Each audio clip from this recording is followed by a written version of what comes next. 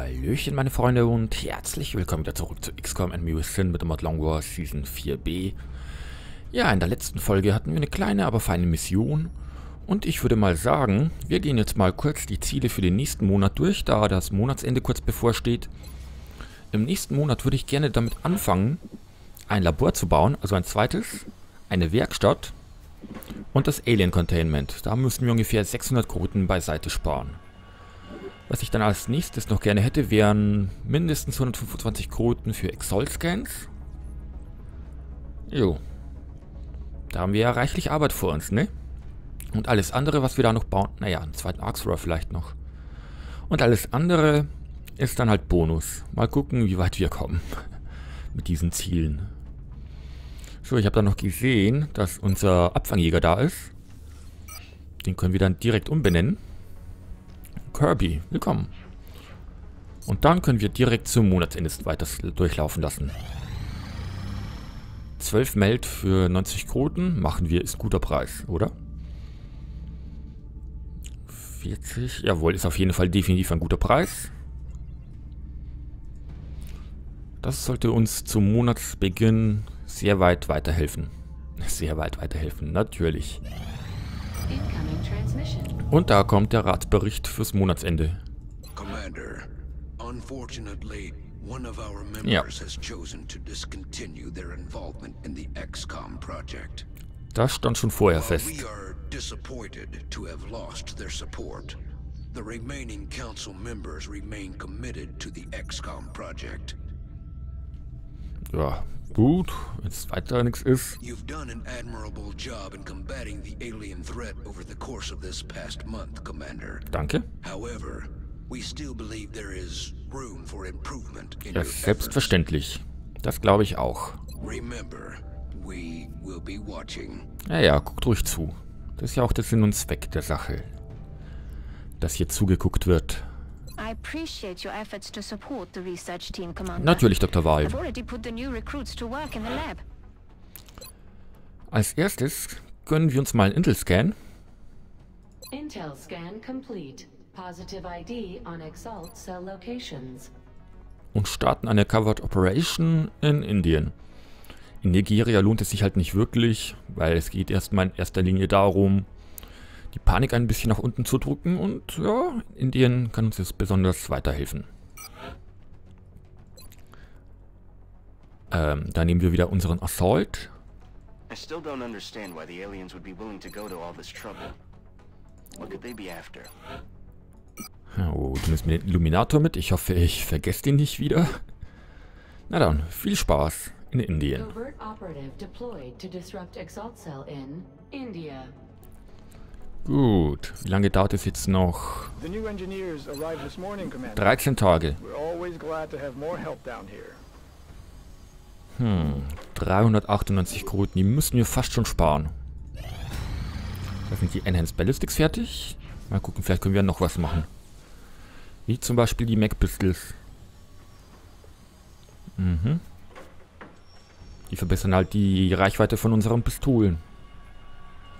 Wobei Improved Salvage oder Aircraft Boosters gehen wir erstmal auf Improved Salvage. Dadurch bekommen wir, wobei Metallurgy wäre mir lieber. Sp warten wir damit noch ein bisschen. Wir sparen Geld.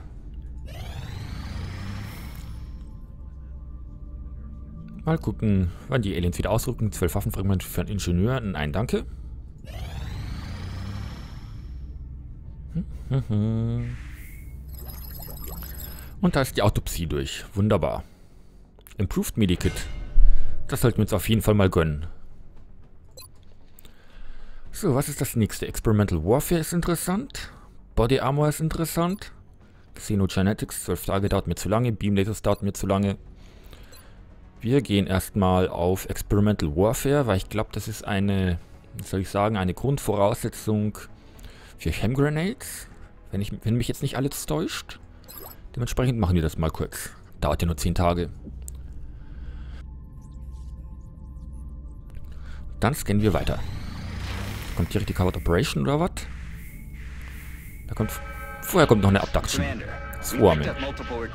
In Indien. Das kommt gut. So, wen nehmen wir denn da mit? Ich würde mal sagen, Sander bleibt daheim. Da ich meine anderen Scouts, äh, ich meine meine anderen Sniper auch noch ein bisschen trainieren muss. Dementsprechend kommt Alicia mit. Erstmal die Leute, die kurz vom Level abstehen. Da bestimmt welche. Wie zum Beispiel Karina. Sie könnten Level abschaffen.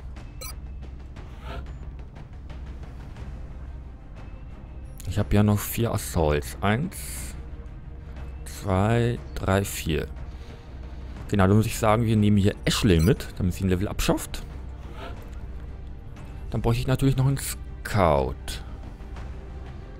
Glenn steht kurz vom Level ab. Braucht halt noch ein paar Kills. Hm. Mhm. Ein Rocketeer. Victoria. Nee, wir nehmen mal einen Detlef mit.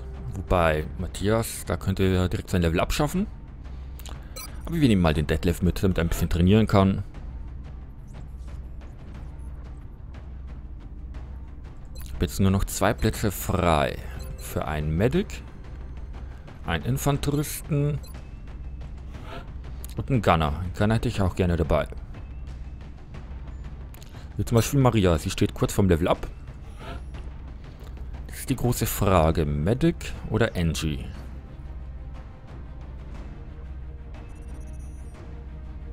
Hm.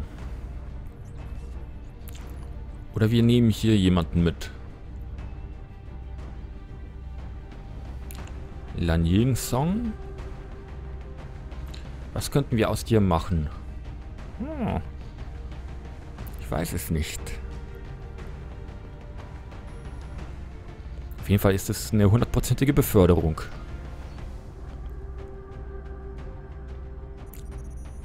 Ah, einen Tag können wir leider nicht mehr warten, weil das wäre auch eine hundertprozentige Beförderung. Ja, ich weiß, es dauert jetzt alles ein bisschen länger, aber hey. Also entweder ein Infanterist oder ein Medic. Ne, Infanteristen habe ich ja bereits. Was fehlt mir denn? Also ein Medic oder ein Engie, genau. Catweasel bleibt daheim. Ähm, ähm, ähm, ähm. Roger werde ich in der nächsten Mission benötigen.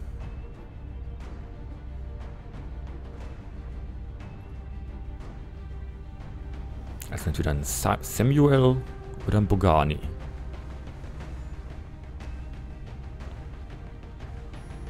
Das ist eine schwierige Entscheidung, Leute. Puh. Nehmen wir einen Medic mit. Lang genug überlegt. Hier wird erstmal der Autolaser ausgerüstet.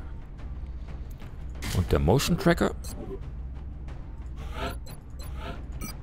Hier die Shatter Ray. Beim Glenn passt soweit alles. Mhm.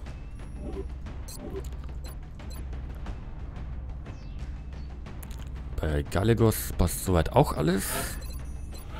Vielleicht das Backup-Medikit daheim lassen. Und dafür etwas für mehr Durchschlagskraft sorgen. Naja, eine Flashbang kann ja auch nicht schaden. Karina nimmt mir noch ein Lasergewehr mit.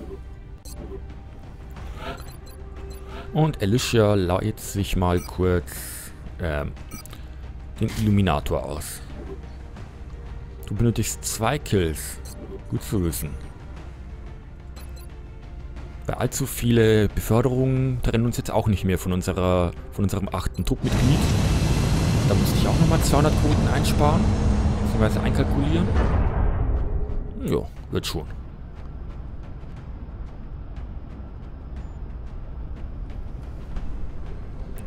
Dann bräuchte ich nochmal 100 Quoten für die Leutnants. Die werden ja auch bald fällig. The area of engagement for this mission will be in India. Current updates from the ground indicate the aliens are moving within the city limits. We should get down there and secure the area as quickly as we can. Natürlich, Bradford. Du kennst uns doch. So quickly wie wir können.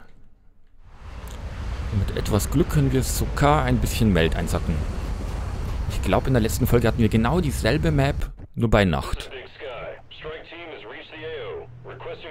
Hm.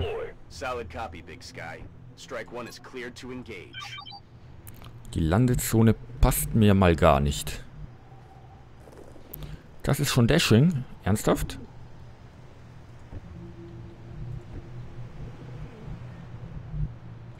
Nun gut, dann schauen wir mal, ob wir hier irgendetwas aufdecken. Auf dem Dach fühle ich mich ein bisschen sicherer, es sei denn, es sind Floater hier. Gut.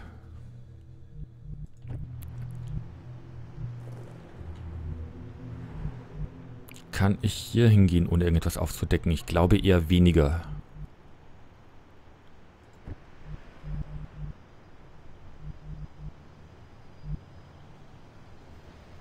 Hm.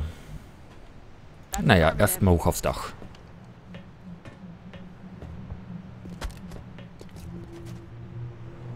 Hätten auch in den Raum reingehen können, aber ist halt nicht ganz so wichtig.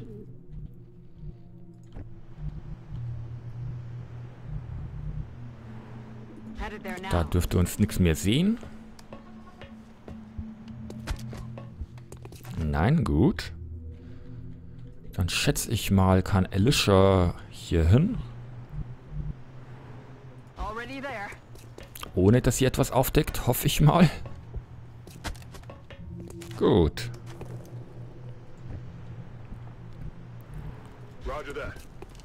Ähm, Glenn geht mir dann direkt hierher. Und Ashley hierhin. Dann warten wir mal kurz ab.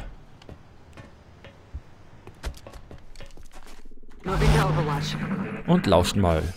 Oh, unter uns ist etwas. Hört sich nach Sinnmen an. Oh. Jetzt ist die Versuchung groß, Richtung Mel zu rennen, aber nee, lass mal bleiben. Die Flotter, die ich da höre, sind schon schrecklich genug. Vielleicht können wir das, was da hinten ist, irgendwie in einen Kampf verwickeln.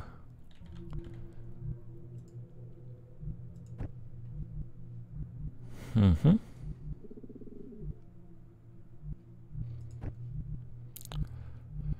Yes, das, na, da habe ich den Weg ja wunderbar zugestellt. Wir warten hier noch eine Runde. Wir müssen uns ja schließlich alles steady machen. Marina, gib mir mal hier hin.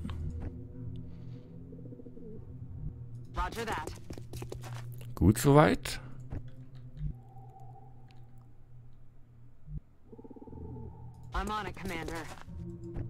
Hm. Ashley kann hier hin. Dann gibt es zweimal Steady Weapon. Und eine kleine Overwatch Party.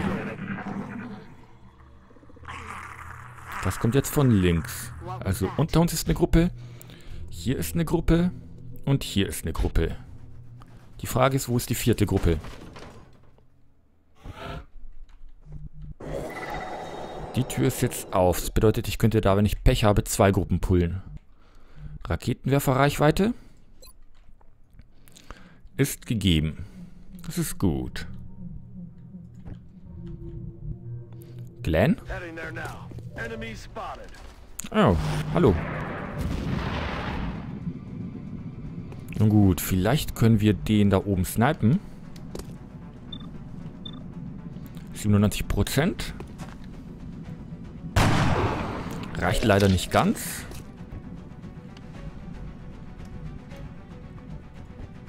Hm. Ich kann leider nur einen von denen treffen. Das ist dann nicht so prickelnd.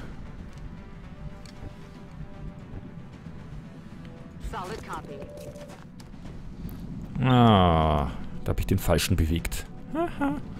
78 oder 58. Dem ersten Mal den 78-prozentigen Schuss. Der sitzt. Ähm. 10% Ich glaube nicht. 16 Prozent. Ja, vielleicht.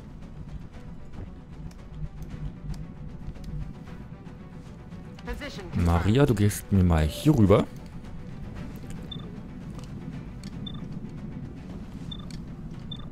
Schalt mir bitte einen aus. Du darfst natürlich auch völlig daneben schießen. Was sagt die Schredder? Auch nur ein Ziel, oder? Ne, damit könnte ich die da beiden oben treffen.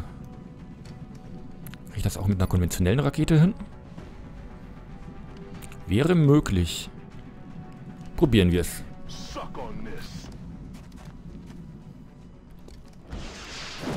Gut gemacht. Waren es nur noch zwei mit zwei HP. Hm. Die Pistole fragen. 8. 22 Prozent. War ein guter Versuch. Ach, du hast ja noch einen Schuss. Schieß auf den da unten, genau. Da war es nur noch einer. Und einer killt uns nicht. Was sagt er, die Pistole? 38 Prozent. Probier. Gut gemacht, Glenn. Das war die erste Gruppe. Und da kommt die zweite. Hm, Sika.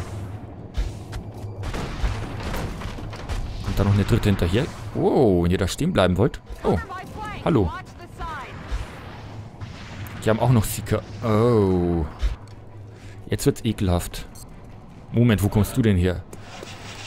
Ein Sinman, sieben Seeker, ein Floater. Nun gut, das schreit hier erstmal nach einer Rakete. Die muss sitzen wie noch nie eine Rakete zuvor. Bitte, schieß nicht daneben. Naja, immerhin etwas.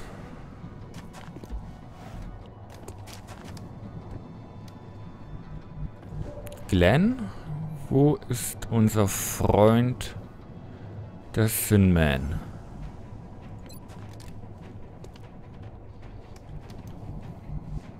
Kannst du das mal für mich herausfinden?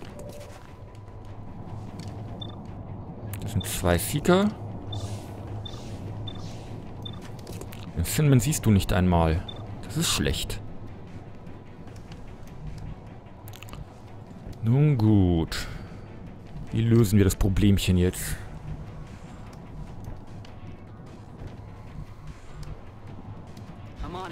Also erstmal brauche ich da einen Shotgun-Schuss.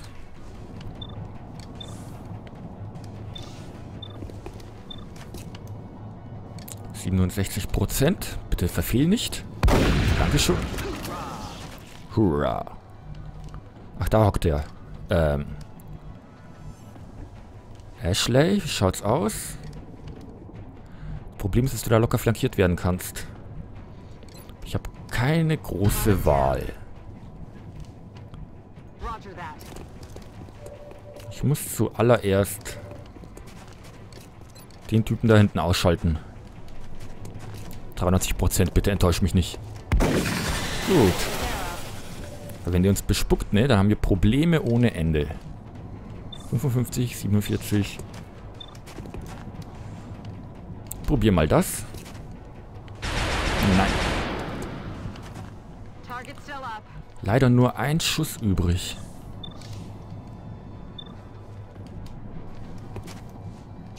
Und du verfehlst. Ja, das sehe ich auch. Komm bitte, schießt ihn einfach ab. Oh, wir sind sowas von tot. 100 Prozent. Wenn wir einen guten Crit, Crit reinbekommen, dann ist der weg. Oder der hier in dem Fall. Nein, er nimmt nur einen ganzen Schaden. Sehr schön. Oh, ich hoffe, die tarnen sich alle und bleiben getarnt. Nein, die enttarnen sich wieder und schießen direkt. Wow, das Holo-Zielen könnte uns zum Verhängnis werden. Und die flankieren uns. Oh, oh. Tarn dich und bleib bitte getarnt.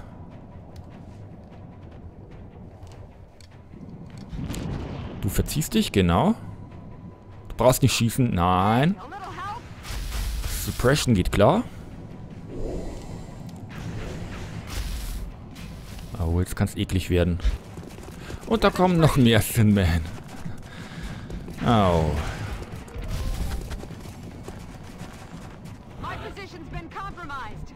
Nun gut.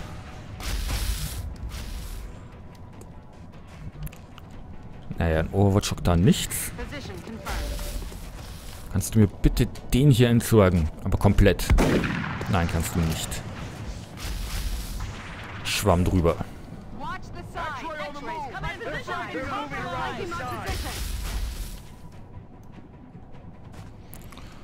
Oh, die Rakete muss richtig gut sitzen.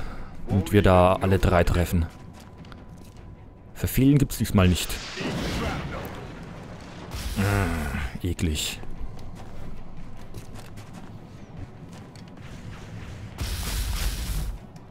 Äh, Glenn?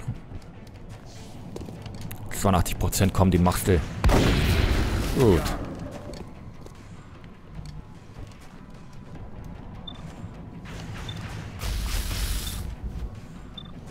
Also erstmal auf den Seeker bitte treffen. Nein. Die Granate landet da drüben nicht. Reicht vielleicht das hier? Gut. Was haben wir noch aktiv? Ein Sektoid, vier Sinmen, drei Seeker, ein Floater. Sehr gefährlich. Wieso siehst du den Floater nicht?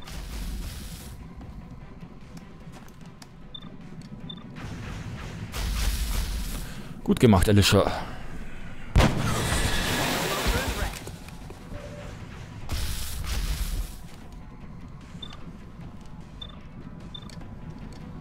Triffst du vielleicht den? Immerhin etwas. 45 Prozent. Vielleicht sollte ich den suppressen, aber schieß einfach mal. Gut. Sind, damit sind unsere Überlebenschancen gerade um 10% gestiegen. Ach komm, lass den Glenn in Ruhe. Nein! Wow.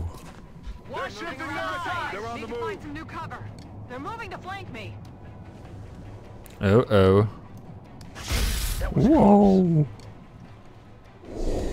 Wo kommen die ganzen Sieger denn her? Ein Hoch auf den Close Combat.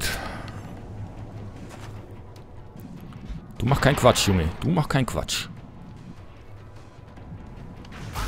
Wow.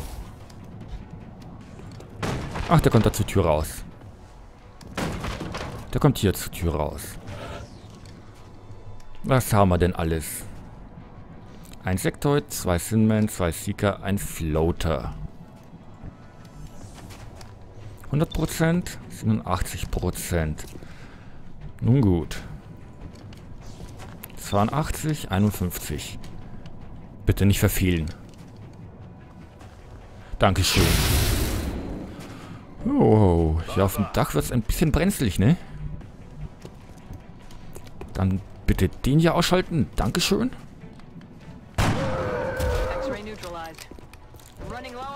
So, da waren es nur noch ein Seeker, zwei Sinman, ein Sektoid. Dann verarzten wir hier mal, wobei ich müsste eigentlich schießen.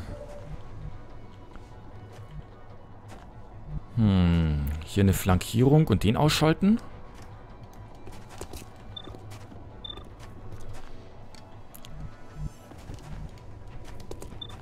Immerhin 80% auf den Seeker. Dog. Einmal bitte kurz verarzten. Dann steigt die Trefferchance auch ein bisschen an.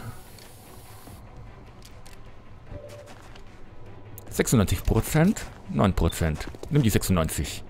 Gut. Hm.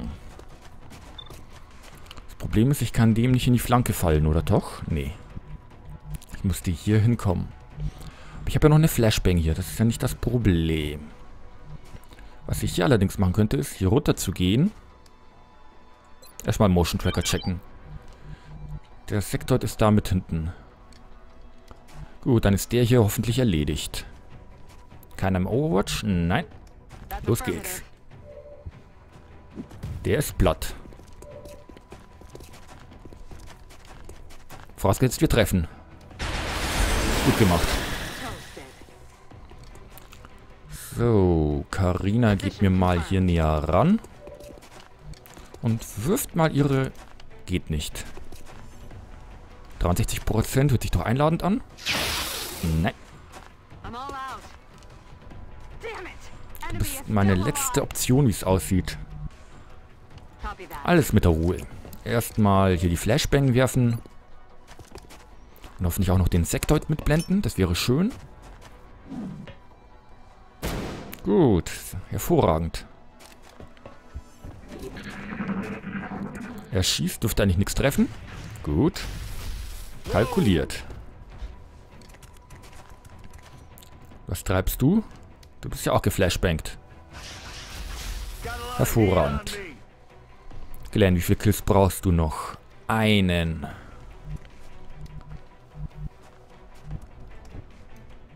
Hm. Dann schauen wir mal, dass wir hier mit Karina die eine Deckung platt machen.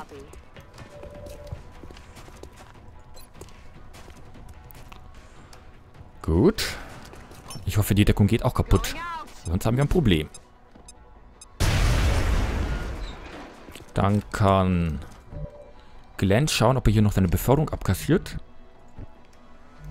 Lisha wird bereits befördert. Wie viele Kills braucht Detlef? Ähm, grob überschlagen 4. Das schafft er nicht mehr. So, schauen wir mal, dass wir einen Glenn befördern. 54% kann ich das irgendwie maximieren. Naja, Holo-Zielen. Der Sektor ist ja eh erledigt. Aber du kannst nicht suppressen, weil du nichts siehst. Ist logisch. Dann suppressen wir mal den Sinman. Aus dem einfachen Grund, damit wir hier... Nee, du hast keine Holo-Zielen. Oh. Na komm, machen wir es einfach platt. Einfach platt machen. Nicht weiter drüber nachdenken. Glenn, enttäuscht mich nicht. Gut. Das war deine Beförderung. Weil wenn du schon verletzt bist für eine lange Zeit, wie meine anderen Scouts, dann solltest du doch befördert werden. Und Ashley holt sich einfach mal den kleinen Sektor da drüben.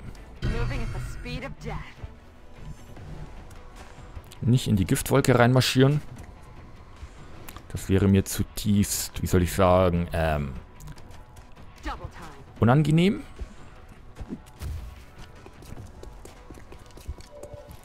Und dann würde ich mal sagen, tschüss. Wow, auf die Verletzten hätten wir verzichten können. Aber ich, wenn ich mich nicht täusche, wurde fast jeder im Trupp befördert. Darauf lief die Mission ja eigentlich hinaus.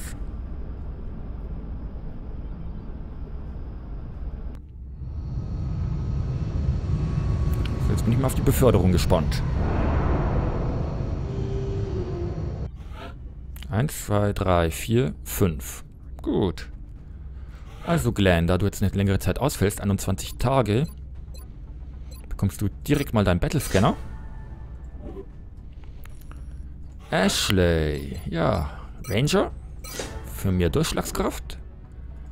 Maria, du bekommst jetzt endlich dein Holo-Targeting. Das hätte ich eigentlich in dieser Mission schon von dir verlangt, aber gut. Karina bekommt Opportunist damit sie bessere Overwatches macht. Und Alicia geht mir ebenfalls auf Disabling Shot.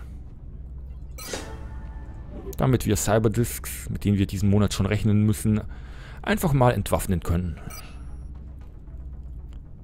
Weil einfach, einfach, einfach ist. Und einfacher als einfach wird es nicht. Aber einfach ist es leider nicht. Man muss schon ein bisschen überlegen, damit man hier gut durchkommt. Die 115 Quoten streiche ich dankend an. Uh, damit können wir schon mal definitiv arbeiten. Wir können direkt mal in die Officer Training School gucken. Und sehen, dass wir 98 von 115 Beförderungen bereits beisammen haben. Das ist doch ein guter Schnitt. Wir konnten uns eigentlich die Tactical Officers bereits leisten, aber nö, lass mal stecken. Ähm, in acht Tagen ist Experimental Warfare durch. Acht Tage noch bis zum Thermo Generator. Mhm. Also wir haben fast das Geld beisammen. Ich glaube, die Exalt-Mission, wenn wir diese auch noch erfolgreich abschließen, dann haben wir unser ganzes Geld beisammen für die Bauprojekte und dann können wir uns auf anderes konzentrieren. Und ja, und ich würde sagen, meine Freunde, das war's jetzt von dieser Folge. Ich bedanke mich bei euch fürs Zugucken, wünsche noch einen schönen Tag und bis zum nächsten Mal. Tschüss.